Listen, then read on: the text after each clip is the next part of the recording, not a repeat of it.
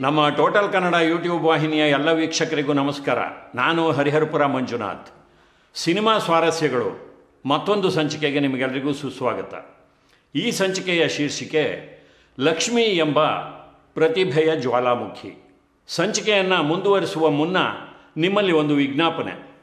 ನೋಡಿ, ಈಗಾಗಲೇ ತಂತ್ರಜ್ಞಾನ ಸಿನಿಮಾದಿಂದ ಕಿರುತೆರೆಗೆ ಬಂದು ಕಿರುತೆರೆಯಿಂದ ಯೂಟ್ಯೂಬ್ಗೆ ಬಂದಾಗಿದೆ. ಇವತ್ತೇನಿದ್ರೂ ಜನ ಯೂಟ್ಯೂಬ್ನಲ್ಲೇ ಪ್ರತಿಯೊಂದನ್ನು ನೋಡೋದಕ್ಕೆ ಇಷ್ಟಪಡ್ತಾರೆ. ಇಂಥ ಒಂದು ಕಾಲಘಟ್ಟದಲ್ಲಿ ನಿಮಗೆ ಯೂಟ್ಯೂಬ್ನಲ್ಲಿ ಸಕ್ರಿಯವಾಗಿ ಭಾಗವಹಿಸಬೇಕು, ಅದರ ಒಳಗು ಹೊರಗನ್ನೆಲ್ಲ ತಿಳಿದುಕೊಳ್ಬೇಕು ಅನ್ನುವಂಥ ಆಸಕ್ತಿ ಇದ್ದರೆ ನಿಮಗೆ ಎಲ್ಲಿ ಹೋಗಬೇಕು, ಏನು ಮಾಡಬೇಕು ಅನ್ನೋದು ಗೊತ್ತಿಲ್ಲ ಅಂದರೆ ನಮ್ಮ ಚಾನಲನ್ನು ಸಂಪರ್ಕಿಸಿ. ಖಂಡಿತವಾಗಿಯೂ ನಮ್ಮಲ್ಲಿರುವ ನಿರ್ದೇಶಕರು, ಸಂಕಲನಕಾರರು, ನಿರ್ಮಾಪಕರು ನಿರೂಪಕರು ಎಲ್ಲರೂ ನಿಮಗೆ ಸಹಾಯ ಹಸ್ತವನ್ನು ನೀಡೋದಕ್ಕೆ ಸಿದ್ಧವಾಗಿದ್ದೀವಿ. ನಿಮಗೆ ಎಡಿಟಿಂಗ್ ಕಲಿಯುವಂಥ ಆಸಕ್ತಿ ಇದ್ದರೆ ಸಂಕಲನವನ್ನು ನಾವು ಪ್ರೊಫೆಷನಲ್ ಆಗಿ ತರಬೇತಿ ನೀಡುವ ಒಂದು ಪ್ರಯತ್ನವನ್ನು ಮಾಡ್ತಾ ಇದ್ದೀವಿ. ಆಸಕ್ತರು ನಮ್ಮಲ್ಲಿ ಬಂದು ಈ ಸಂಕಲನವನ್ನು ಕಲಿಯಬಹುದು. ನೀವು ಯಶಸ್ವಿಯಾಗಿ ಈ ಒಂದು ತರಬೇತಿ ಕೋರ್ಸನ್ನು ಮುಗಿಸಿದ ಮೇಲೆ ನಿಮ್ಮ ಕೆಲಸದ ಮಟ್ಟವನ್ನು ನೋಡಿಕೊಂಡು ನಮ್ಮ ವಾಹಿನಿಯಲ್ಲಿಯೇ ನಿಮಗೆ ಸಂಕಲನದ ಕೆಲಸವನ್ನು ಕೂಡ ಕೊಡಲಾಗುತ್ತೆ. ಇನ್ನು ಈಗಾಗಲೇ ಪ್ರೀಮಿಯರ್ ಪ್ರೋ ಸಾಫ್ಟ್ವೇರ್ನಲ್ಲಿ ಸಂಕಲನವನ್ನು ಕಲಿತಿರುವವರಿದ್ದರೂ ಸಹ ನಮ್ಮಲ್ಲಿ ಕೆಲಸ ಮಾಡೋದಕ್ಕೆ ಬರಬಹುದು.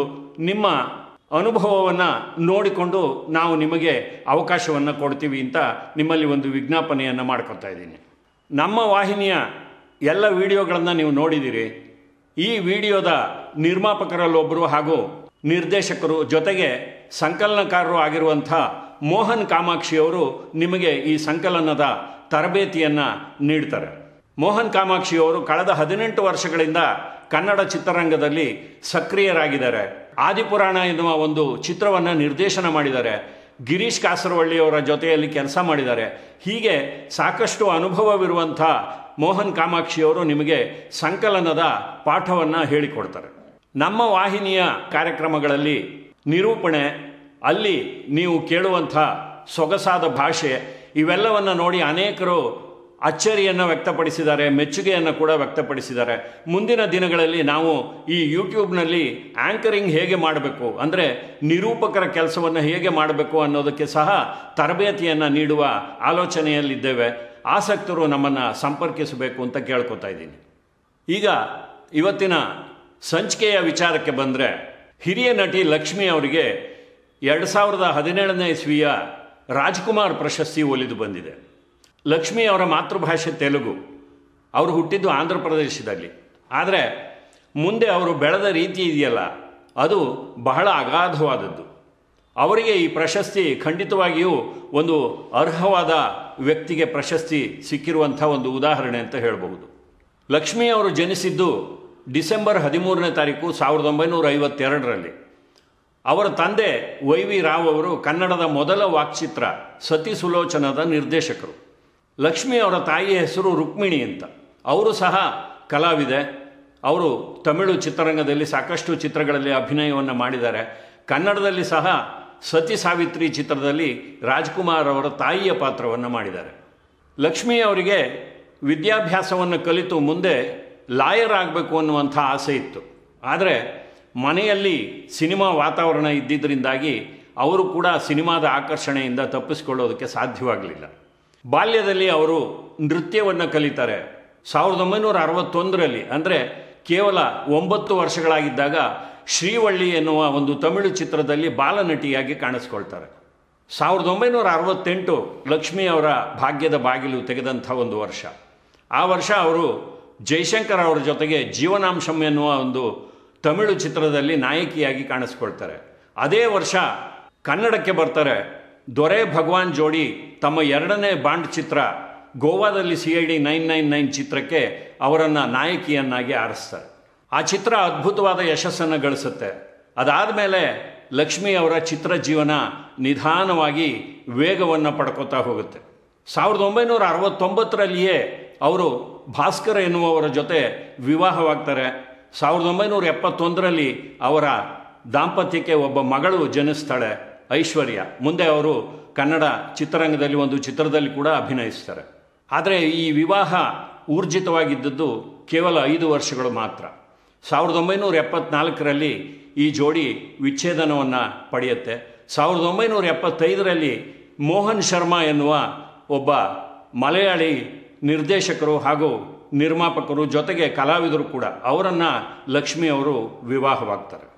ಈ ವಿವಾಹವೂ ಸಹ ಐದು ವರ್ಷಗಳ ಕಾಲ ಊರ್ಜಿತವಾಗಿರುತ್ತೆ. ಸಾವಿರದ ಒಂಬೈನೂರ ಎಂಬತ್ತರಲ್ಲಿ ಮೋಹನ್ ಅವರಿಂದ ಕೂಡ ಲಕ್ಷ್ಮಿ ಅವರು ವಿಚ್ಛೇದನವನ್ನು ಪಡೀತಾರೆ. ಮುಂದೆ ಸಾವಿರದ ಒಂಬೈನೂರ ಎಂಬತ್ತೇಳರಲ್ಲಿ ಅವರು ಎನ್ ಉಯಿರ್ ಕಣ್ಣಮ್ಮ ಎನ್ನುವ ಚಿತ್ರದ ಚಿತ್ರೀಕರಣದ ಸಂದರ್ಭದಲ್ಲಿ ನಟ ನಿರ್ದೇಶಕರಾದಂಥ ಶಿವಚಂದ್ರನ್ ಅವರನ್ನು ಮದುವೆ ಆಗ್ತಾರೆ. ಶಿವಚಂದ್ರನ್ ಹಾಗೂ ಲಕ್ಷ್ಮಿ ದಂಪತಿಗಳು ಸಂಯುಕ್ತ ಎನ್ನುವ ಒಬ್ಬ ಹೆಣ್ಣು ಮಗಳನ್ನು ದತ್ತು ತಗೊಳ್ತಾರೆ. ಹೀಗಾಗಿ ಇವರಿಗೆ ಇಬ್ಬರು ಮಕ್ಕಳು ಅಂತ ಹೇಳಬಹುದು. ಸಾವಿರದ ಒಂಬೈನೂರ ಎಪ್ಪತ್ನಾಲ್ಕರಲ್ಲಿ ಮಲಯಾಳಂನಲ್ಲಿ ಒಂದು ಸಿನಿಮಾ ಬರುತ್ತೆ. ಅದರ ಹೆಸರು ಚಟ್ಟಕ್ಕಾರಿ ಆ ಸಿನಿಮಾದೊಂದಿಗೆ ಲಕ್ಷ್ಮಿ ಅವರ ಜನಪ್ರಿಯತೆ ಇಡೀ ದೇಶದಾದ್ಯಂತ ಹರಡುತ್ತೆ. ಅದೇ ಚಿತ್ರ ಮರು ವರ್ಷವೇ ಹಿಂದಿಯಲ್ಲಿ ಜೂಲಿ ಎನ್ನುವ ಹೆಸರಿನಲ್ಲಿ ರೀಮೇಕ್ ಆಗುತ್ತೆ. ಜೊತೆಗೆ ತೆಲುಗು ತಮಿಳಿನಲ್ಲಿ ಸಹ ಆ ಚಿತ್ರದ ರೀಮೇಕ್ ಬರುತ್ತೆ. ರಾತ್ರಿ ಬೆಳಗಾಗುವಷ್ಟರಲ್ಲಿ ಲಕ್ಷ್ಮಿ ಅವರು ಜೂಲಿ ಲಕ್ಷ್ಮಿ ಎನ್ನುವ ಹೆಸರಿನಿಂದಲೇ ಪ್ರಸಿದ್ಧರಾಗ್ತಾರೆ. ಇದಾದ ಮರು ವರ್ಷ ಅಂದರೆ ಸಾವಿರದ ಒಂಬೈನೂರ ಎಪ್ಪತ್ತೇಳರಲ್ಲಿ ಲಕ್ಷ್ಮಿ ಅವರ ಕೀರ್ತಿಯ ಕಿರೀಟಕ್ಕೆ ಮತ್ತೊಂದು ಗರಿ ಸೇರಿಕೊಳ್ಳುತ್ತೆ. ಅದು ಶ್ರೇಷ್ಠ ನಟಿ ಎನ್ನುವ ರಾಷ್ಟ್ರೀಯ ಪ್ರಶಸ್ತಿ. ನೋಡಿ, ಆ ವರ್ಷ ತೆರೆಗೆ ಬಂದ ಒಂದು ತಮಿಳು ಚಿತ್ರ, ಜಯಕಾಂತನ್ ಎನ್ನುವ ತಮಿಳಿನ ಒಬ್ಬ ಖ್ಯಾತ ಕಾದಂಬರಿಕಾರರ ಒಂದು ಕೃತಿ, ಸಿಲ ನೇರಂಗಳಿಲ್ ಸಿಲ ಮನಿದರ್ಗಳು. ಒಂದು ಕಪ್ಪು ಬಿಳುಪು ಚಿತ್ರ. ಆ ಚಿತ್ರದಲ್ಲಿನ ಅಭಿನಯಕ್ಕಾಗಿ ಲಕ್ಷ್ಮಿ ಅವರಿಗೆ ಇಪ್ಪತ್ನಾಲ್ಕನೇ ರಾಷ್ಟ್ರೀಯ ಪ್ರಶಸ್ತಿ ಒಲಿದು ಬರುತ್ತೆ. ಈ ಚಿತ್ರದ ನಿರ್ದೇಶಕರು ತಮಿಳಿನ ಒಬ್ಬ ಹೆಸರಾಂತ ನಿರ್ದೇಶಕರಾದ ಎ. ಭೀಮ್ ಸಿಂಗ್ ಅವರು. ನೋಡಿ, ಹಿಂದಿಯ ಅಭಿಮಾನಿಗಳಿಗೆ ಲಕ್ಷ್ಮಿ ಅವರು ಜೂಲಿ ಲಕ್ಷ್ಮಿ ಆದರೆ ಕನ್ನಡದ ಅಭಿಮಾನಿಗಳಿಗೆ ನಾನಿನ ಮರೆಯಲಾರೆ ಲಕ್ಷ್ಮಿ. ಅದೇ ರೀತಿಯಲ್ಲಿ ಮಲಯಾಳಂನಲ್ಲಿ ಚಟ್ಟಕ್ಕಾರಿ ಲಕ್ಷ್ಮಿ. ತೆಲುಗಿನವರಿಗೆ ಪಂತುಲಮ್ಮ ಲಕ್ಷ್ಮಿ. ತಮಿಳಿನವರಿಗೆ ಸಿಲ நேரங்களில் சில மனிதர்கள் ಲಕ್ಷ್ಮಿ ಹೀಗೆ ಐದು ಭಾಷೆಗಳಲ್ಲಿ ಅವರು ತಮ್ಮ ಪಾತ್ರಗಳಿಂದಲೇ ಹೆಸರುವಾಸಿಯಾಗ್ತಾರೆ ಜೊತೆಗೆ ಐದು ಭಾಷೆಗಳಲ್ಲಿ ಪ್ರಶಸ್ತಿಗಳನ್ನು ತಮ್ಮದಾಗಿಸ್ಕೊಳ್ತಾರೆ. ನೋಡಿ, ದಕ್ಷಿಣ ಭಾರತದಿಂದ ಒಬ್ಬ ಕಲಾವಿದೆ ಐದು ಭಾಷೆಗಳಲ್ಲಿ ಒಟ್ಟು ಒಂಬತ್ತು ಬಾರಿ ಫಿಲಂ ಫೇರ್ ಪ್ರಶಸ್ತಿಯನ್ನು ಪಡೆದಿರೋದು ಲಕ್ಷ್ಮಿ ಅವರೇ ಮೊದಲ ಬಾರಿಗೆ ಮಾಡಿದಂಥ ಒಂದು ದಾಖಲೆ. ಇದಲ್ಲದೆ ತಮಿಳುನಾಡು ಆಂಧ್ರ ಪ್ರದೇಶ, ಕೇರಳ ಹಾಗೂ ಕರ್ನಾಟಕದ ರಾಜ್ಯ ಪ್ರಶಸ್ತಿಗಳನ್ನು ತಮ್ಮ ಪಾತ್ರ ನಿರ್ವಹಣೆಗಾಗಿ ಪಡೆದವರು ಲಕ್ಷ್ಮಿಯವರು. ಹೀಗೆ ಭಾರತೀಯ ಚಿತ್ರರಂಗದಲ್ಲಿ ದಕ್ಷಿಣ ಭಾರತದ ನಾಲ್ಕು ಪ್ರಮುಖ ಭಾಷೆಗಳ ಜೊತೆಯಲ್ಲಿ ಹಿಂದಿಯಲ್ಲಿಯೂ ಸಹ ಪ್ರಸಿದ್ಧರಾದಂಥ ಲಕ್ಷ್ಮಿಯವರ ಚಿತ್ರಜೀವನ ನಿಧಾನವಾಗಿ ವೇಗವನ್ನು ಪಡ್ಕೊಂಡು ಸುಮಾರು ನಾನ್ನೂರಕ್ಕೂ ಹೆಚ್ಚು ಚಿತ್ರಗಳಲ್ಲಿ ಅವರು ಅಭಿನಯಿಸುವ ಹಾಗಾಗುತ್ತೆ. ಹಾಗಂತ ಅವರೇನು ನಾಯಕಿಯ ಪಾತ್ರಗಳನ್ನೇ ಮಾಡಿದ್ರು ಅಂತಲ್ಲ. ನೋಡಿ, ಯಾವಾಗ ನಾಯಕಿಯ ಘಟ್ಟ ಮುಗೀತು ಅಂತ ಅನ್ನಿಸ್ತೋ, ಆಗ ಅವರು ಪೋಷಕ ಪಾತ್ರಗಳಿಗೆ ಶಿಫ್ಟ್ ಆಗ್ತಾರೆ. ಸಾವಿರದ ಒಂಬೈನೂರ ತೊಂಬತ್ತೆಂಟರಲ್ಲಿ ಜೀನ್ಸ್ ಎನ್ನುವ ತಮಿಳು ಚಿತ್ರದಲ್ಲಿ ಅವರು ಐಶ್ವರ್ಯ ರಾಯ್ ಅವರಿಗೆ ಅಜ್ಜಿಯಾಗಿ ಅಭಿನಯಿಸ್ತಾರೆ. ಅದೇ ರೀತಿ ಎರಡು ಸಾವಿರದ ನಾಲ್ಕರಲ್ಲಿ ಹಲ್ಚಲ್ ಚಿತ್ರದಲ್ಲಿ ಕರೀನಾ ಕಪೂರ್ ಅವರಿಗೆ ಅಜ್ಜಿಯಾಗಿ ಅಭಿನಯಿಸ್ತಾರೆ. ಪಾತ್ರ ಗಟ್ಟಿಯಾಗಿದ್ದರೆ ಸರಿ, ಯಾವ ಭಾಷೆಯಾದರೂ ಆಗಲಿ, ಯಾವ ಪಾತ್ರವಾದರೂ ಸರಿ ಎನ್ನುವ ಒಂದು ಹೊಂದಾಣಿಕೆ ಮಾಡಿಕೊಂಡಿದ್ದರಿಂದಾಗಿ ಅವರು ಇಷ್ಟೊಂದು ಚಿತ್ರಗಳಲ್ಲಿ ಅಭಿನಯಿಸೋದಕ್ಕೆ ಅವಕಾಶ ಆಯಿತು. ತಮಿಳಿನ ಖ್ಯಾತ ನಿರ್ದೇಶಕರಾದ ಕೆ. ಬಾಲಚಂದರ್ ಅವರ ಸೂಪರ್ವಿಷನ್ನಲ್ಲಿ ಅವರು ಕನ್ನಡದಲ್ಲಿ ಮಕ್ಕಳ ಸೈನ್ಯ ಎನ್ನುವ ಒಂದು ಚಿತ್ರವನ್ನು ನಿರ್ದೇಶನ ಕೂಡ ಮಾಡ್ತಾರೆ. ನೋಡಿ, ಸಾವಿರದ ಒಂಬೈನೂರ ಅರವತ್ತೆಂಟರಲ್ಲಿ ಅವರು ಕನ್ನಡಕ್ಕೆ ಬಂದಿದ್ದು, ಅದಾದ ಎಂಟು ವರ್ಷಗಳ ನಂತರ ಸಾವಿರದ ಒಂಬೈನೂರ ಎಪ್ಪತ್ತಾರರಲ್ಲಿ ನಾನಿನ್ನ ಮರೆಯಲಾರೆ ಚಿತ್ರದೊಂದಿಗೆ ಮತ್ತೆ ಕನ್ನಡಕ್ಕೆ ಬರ್ತಾರೆ. ಅದಾದ ಮೇಲೆ ಕನ್ನಡದಲ್ಲಿ ಆವತ್ತಿನ ಎಲ್ಲ ನಾಯಕ ನಟರೊಂದಿಗೂ ಅಭಿನಯಿಸ್ತಾರೆ.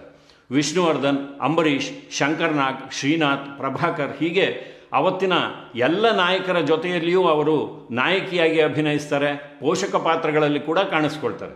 ಒಂದು ಆಶ್ಚರ್ಯದ ಸಂಗತಿ ಅಂದರೆ ಅನಂತನಾಗ್ ಹಾಗೂ ಲಕ್ಷ್ಮಿ ಅವರ ಜೋಡಿ ಕನ್ನಡದಲ್ಲಿ ಅದೆಷ್ಟು ಜನಪ್ರಿಯವಾಗುತ್ತೆ ಅಂದರೆ ರಾಜ್ಕುಮಾರ್ ಹಾಗೂ ಭಾರತೀಯವರ ಜೋಡಿ ಎಷ್ಟು ಜನಪ್ರಿಯವೋ ಅಷ್ಟೇ ಜನಪ್ರಿಯತೆ ಈ ಜೋಡಿಗೆ ಸಹ ಸಿಗುತ್ತೆ.